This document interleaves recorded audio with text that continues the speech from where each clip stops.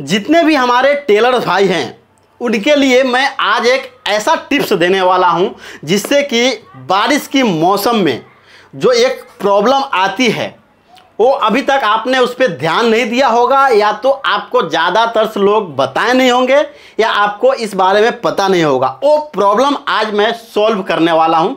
जो बारिश की मौसम में ये प्रॉब्लम खास कर आती है, और टेलर भाई के लिए बहुत काम की टिप्स है तो ये कौन सी टिप्स है, चलिए आपको आगे दिखाता हूँ।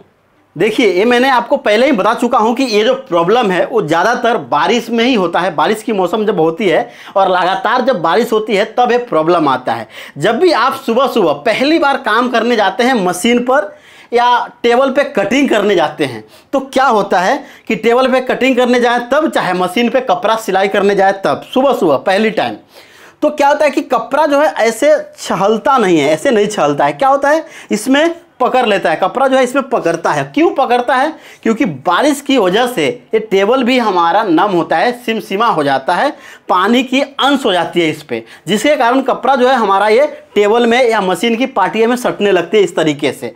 तो इसको अब कैसे ठीक करना है? जो इस तरीके से कपड़ा सटे नहीं और अच्छे से ऐसा छहलना चाहिए कपड़ा मशीन पे, तभी आप अच्छे से कटिंग भी कर पाएँगे अच्छे से सिल भी पाएँगे। तो इसके लिए आपको क्या करना है? ध्यान दीजिएगा। पहला तरीका यह है कि आप गेहूँ की आटा ले लीजिए। गेहूँ की आटा जो है, वो आटा ले लीजिए और ऐसे हर जगह पे ऐसा छिड़क दीजिए, ऐसे। ठीक है? ऐसे छिड़कने के बाद आपको क्या करना अच्छे से, जहाँ जहाँ पे भी आपका कपड़ा सट रहा है मशीन में या टेबल पे, वो आपको ऐसे ऐसे करके अच्छे से रगड़ देना है। ऐसे ऐसे रगड़ देंगे। ठीक है?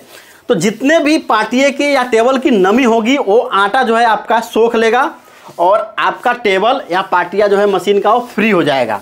फिर आपको कपड़े को यहाँ पे छहलाने में, मशीन पे सिलाई करने में कोई भी दिक्कत नहीं होगा। दूसरा तरीका क्या है कि आपको एक पाउडर का डब्बा रखना है और उस पर पाउडर मारना है। दोनों तरीके सेम है। और दोनों आसान तरीके, इस तरीके से पाउडर इस पर लगा देना है। और पाउडर लगाने के बाद फिर से आपको ऐसे ऐसे करके, ऐसे ऐसे करके अच्छे से सभी जगह पे, जहाँ जहाँ पे नमी दिख रहा है, यानी जहाँ जहाँ पे कपड़ा सट रहा है, वहाँ पे इस तरीके से आपको मार देना है।